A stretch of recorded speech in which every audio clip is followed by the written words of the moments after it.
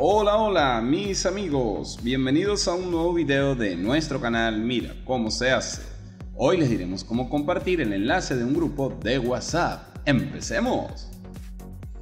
Muy bien mis amigos, bienvenidos a un tutorial más. Antes de comenzar les recuerdo que si hacen clic en el enlace de la descripción van a llegar directamente al artículo web donde van a conseguir toda la información detalladita para que no se les escape ningún punto importante.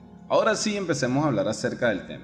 Bien, WhatsApp es uno de los medios de comunicación más populares que hay a nivel digital. De hecho, es líder en muchos países, sobre todo porque es gratuito y también porque hay una gran cantidad de personas utilizándolo hoy día. Ahora bien, una de las bondades de WhatsApp es que podemos crear grupos. Estos grupos nos permiten poder comunicarnos rápidamente con una gran cantidad de personas.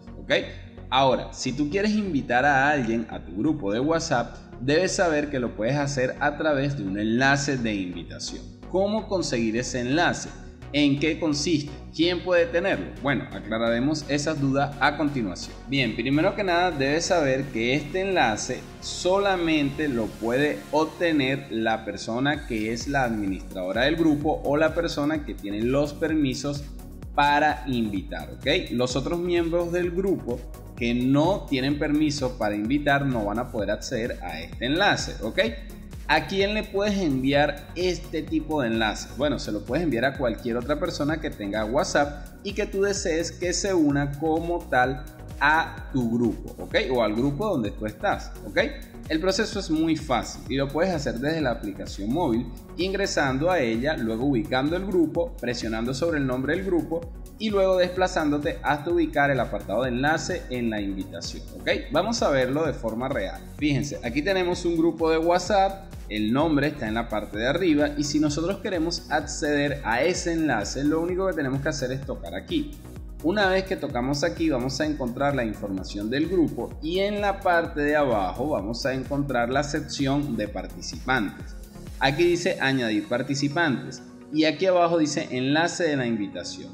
Si tocamos aquí vamos a encontrar el enlace que como tal está creado para este grupo. Eso es algo que lo crea WhatsApp automáticamente y lo podemos copiar o incluso lo podemos reenviar. ¿ok? Fíjense, si ustedes quieren copiarlo, le dan aquí y listo. Una vez que lo tienen copiado, pueden buscar el chat donde quieran enviar el mensaje y ya, eso es todo, ¿ok? Por ejemplo, fíjense, tenemos este chat. Supongamos que queremos invitar a la persona al grupo.